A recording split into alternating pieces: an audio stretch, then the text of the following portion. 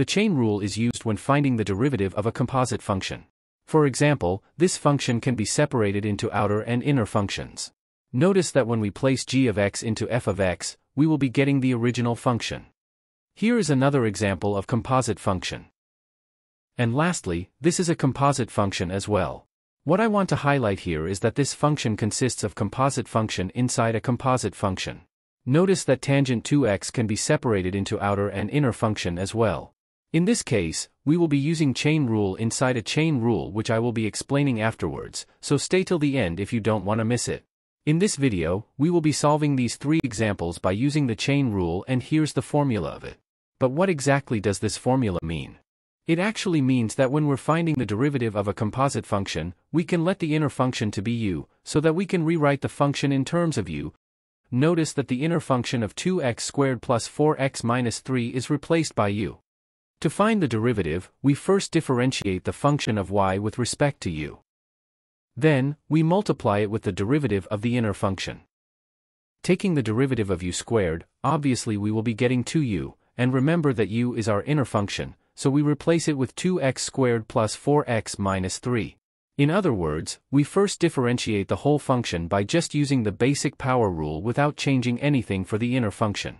That's the reason why we got this. Then, we multiply it with the derivative of the inner function. Don't worry, let us solve for this example now. First, we differentiate the whole thing while keeping the inner function unchanged. By using the power rule, we bring the exponent down, and we subtract the power by 1. After all, we multiply it with the derivative of the inner function.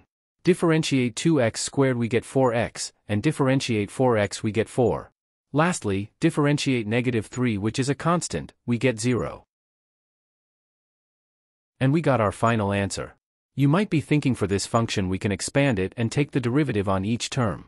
Well, it's correct and you can do this, but it's not practical when we have a large exponent as it is impossible to expand it one by one, unless you have that patience.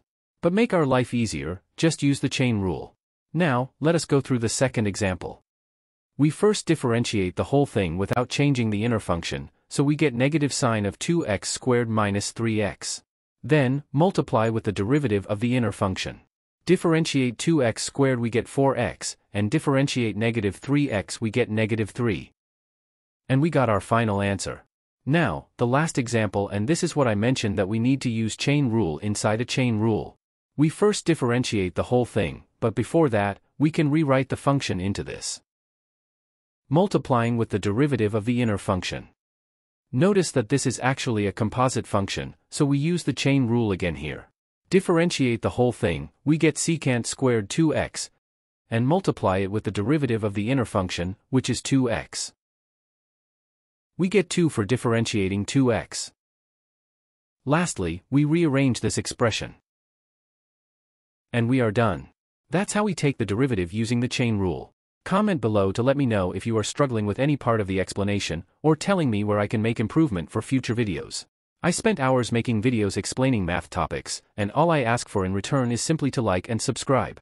Thanks for watching.